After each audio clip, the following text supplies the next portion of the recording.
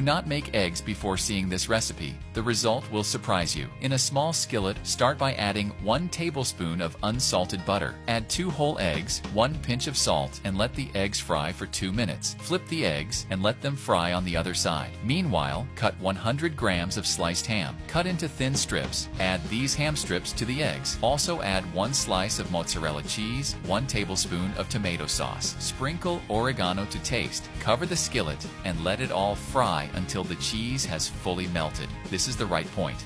That recipe is ready. You may now serve and enjoy it. Thank you for sharing this recipe. See you next recipe. Bye.